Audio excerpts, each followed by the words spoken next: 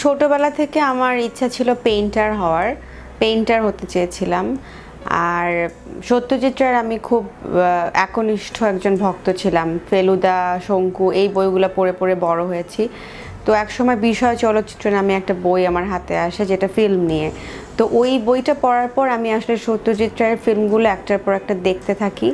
এবং ওইখান থেকেই আমার ভিতরে যে নির্মাতা হওয়ার যে ইচ্ছা সেটা ওইখান থেকেই তৈরি হয় যে সত্যজিৎ ফিল্ম দেখে আমি প্রথম ফিল করি যে ফিল্মও আর্ট এবং ফিল্মেও একটা সোশ্যাল এবং পলিটিক্যাল একটা কমেন্টারি ফিল্মের মাধ্যমেও দেয়া যায়।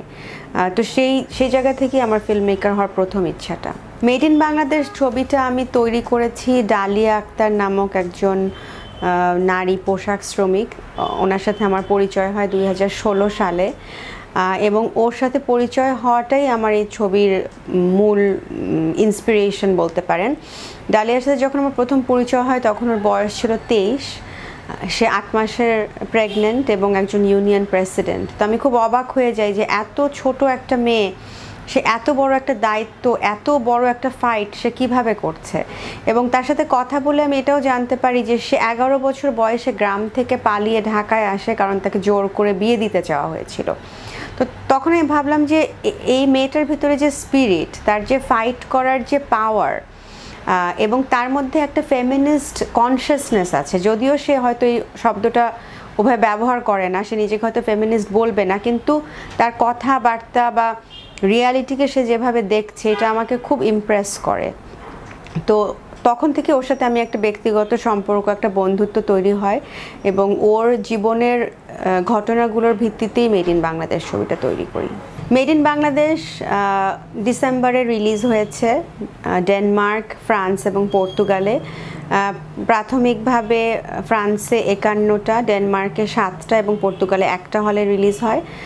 এরপর হলের সংখ্যা বাড়তে থাকে। এখন পঞ্চম সপ্তাহে আমরা আছি ফ্রান্সে চৌষট্টিটা হলে তো এটাকে সফল ছবি হিসাবেই বলা যায়, যেহেতু হলে ভালো চলছে এবং ইতিমধ্যে সেপ্টেম্বরে আমাদের ফেস্টিভ্যাল জার্নি শুরু হয়েছে, ইতিমধ্যে আমাদের পাঁচটা পুরস্কারও আমরা পেয়েছি এই ছবির জন্য। আর মেড ইন বাংলাদেশ ছবিটা বাংলাদেশের নারীর যে ক্ষমতায়ন, বিশেষত পোশাক শিল্পে নারী শ্রমিকের যে ক্ষমতা, ক্ষমতায়ন, সেই গল্পটাকে আমরা বলার চেষ্টা করেছি এবং বাংলাদেশের একটা পজিটিভ ইমেজ ইন্টারন্যাশনালি আমরা দেখাতে চাই।